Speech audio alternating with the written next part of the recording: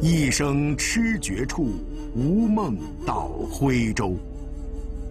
四百多年前，明代戏曲家汤显祖的诗句，曾经让徽州走进无数人的梦境。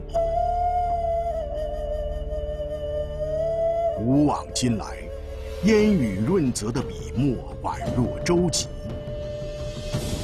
它萦绕着文墨书香的千年雅韵。承载着一代徽商的归绪离愁，停泊在徽州山重水复的异乡。鸡犬桑麻，茂林修竹，徽州最终成为中国人无法忘却的乡愁。